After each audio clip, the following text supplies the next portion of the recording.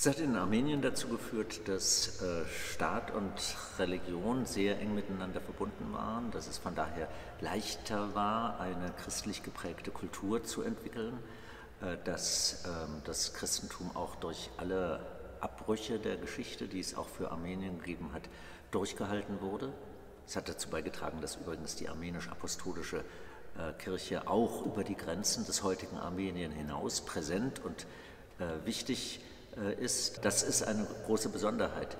Ich glaube, dieser Transformationsprozess, den das Land im Augenblick erlebt, wird auch Auswirkungen für die Kirche haben.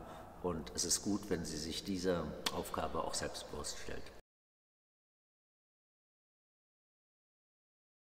Wir haben uns heute damit beschäftigt, äh, unter anderem zur Kenntnis zu nehmen, wie groß der Anteil der armenischen Diaspora für den Aufbau des eigenen Heimatlandes ist. Das ist ein sehr interessanter Vorgang. Und da hat Armenien, gemessen an seiner Einwohnerzahl, einen ungeheuren Vorteil gegenüber anderen beteiligten Ländern aus dem, der großen Tragödie äh, des Armenien-Genozids, der Vertreibung so vieler Armenier äh, in alle, alle Länder.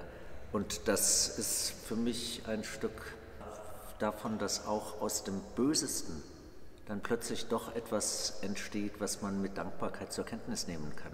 Das ist übrigens die Grundidee der Aurora-Initiative. Ja, auch in der, der, dunklen Geschichte des Genozids diejenigen Elemente aufzuspüren, auf die man mit Dankbarkeit äh, blickt und diese Dankbarkeit in Aktion, in Kreativität, in Gestaltungswillen äh, zu überführen.